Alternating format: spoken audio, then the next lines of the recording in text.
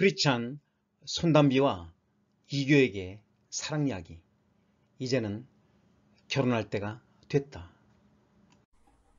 사랑이란 소설가 서머셋 몬 중요한 것은 사랑을 받는 것이 아니라 사랑을 하는 것이다.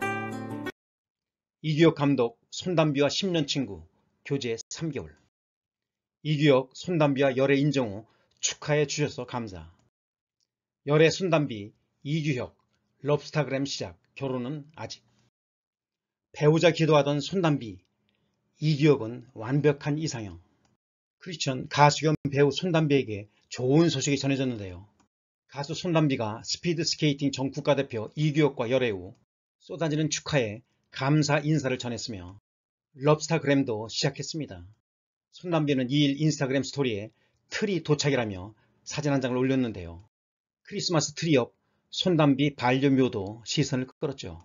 손담비는 축하해 주셔서 감사해요 라고 전했으며 이규혁 역시 같은 시간대 인스타그램 스토리에 손담비 거실에 있는 트리 사진을 올렸고 따뜻한 연말 보내세요 라고 남겼습니다.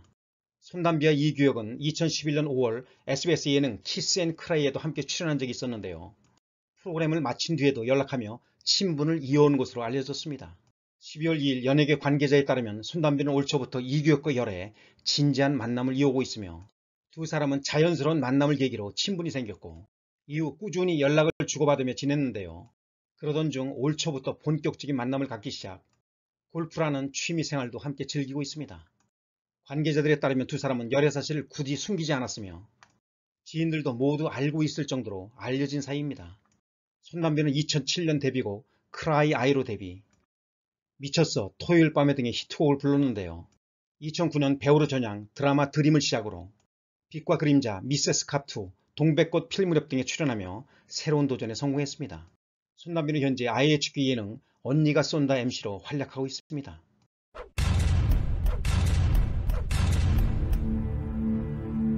이규혁은 스피드 스케이팅 전 국가대표로 이상화, 모태범, 이승훈 같은 스타들이 나오기 시작한 2010년대 이전까지 국내에선 쇼트트랙에 비해 비교적 주목을 덜 받았던 한국 스피드 스케이팅을 20년 가까이 떠받쳤던 선수입니다.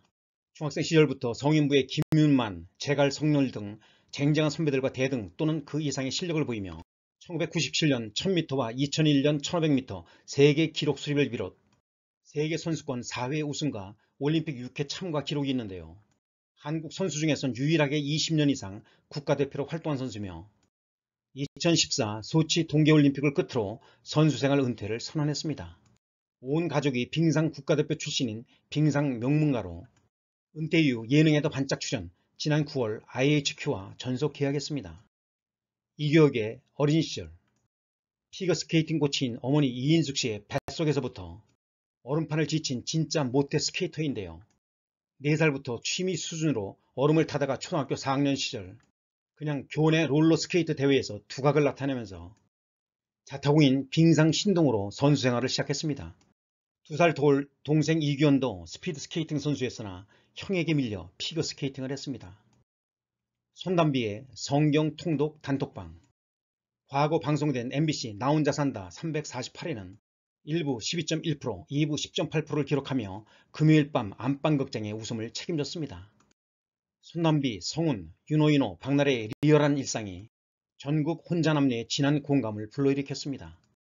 혼밤 특집에서 손담비는 퇴근 후 소파를 직행, 만사가 귀찮다라며 일상에 지친 현실적인 면모를 보였고 겨우 몸을 일으켜 미뤄뒀던 집안일에 열을 올리는가 하면 트롯 방송을 보던 중 흥을 참지 못해 나홀로 댄스 파티를 펼쳐 시청자들의 입꼬리를 끌어올렸습니다.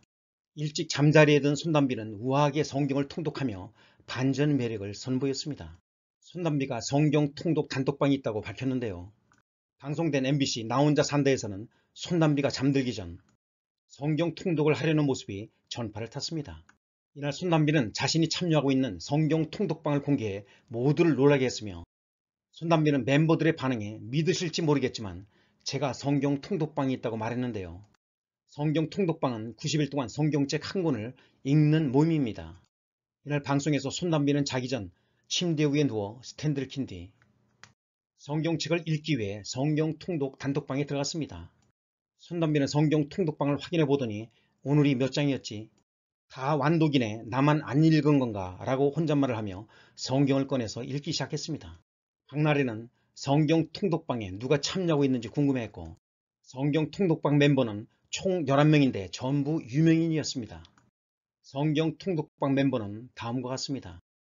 손남비, 리오원, 공효진, 미스코리아 출신 이한희, 소녀시대 수영, 수영의 연인 정경호, 그 외 전부 11명입니다. 손담비의 친구들, 여성 연예인들 중 서로 끈끈한 우정을 나누는 사람들이 있는데요. 공효진, 정영원, 손담비, 소희 등이 그 주인공입니다.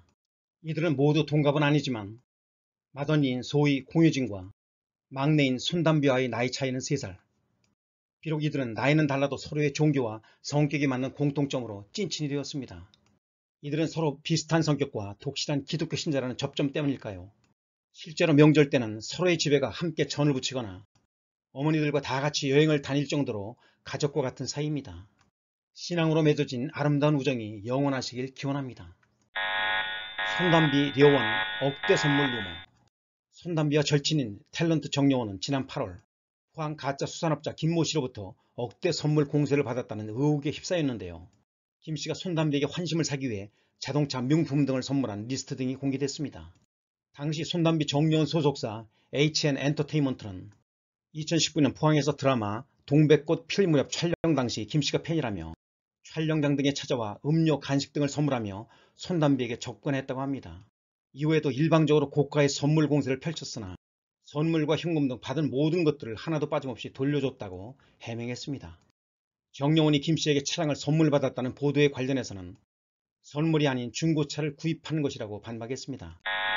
이규혁의 최순실 루머 이규혁은 2016년에서 2017년에 터진 박근혜 최순실 게이트에 연루되며 검찰 조사를 받기도 했는데요. 당시 이규혁은 장시호와 최순실 사이 중개 검토자 역할을 했다는 의혹을 받기도 했습니다. 루머로 고통을 겪은 손담비 이규혁님께 하나님의 은혜와 은총이 함께 하시기를 기도하며 아름다운 결혼이라는 열매가 맺어지기를 진심으로 기원합니다.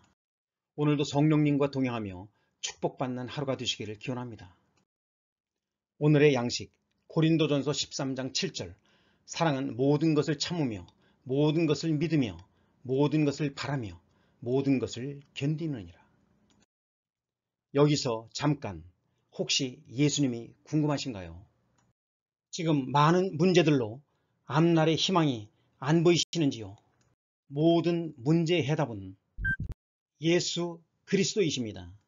마음에 감동이 있으신 분은 가까운 정통교회로 나가세요. 예수님을 정말로 사랑하는 크리스천 튜브였습니다.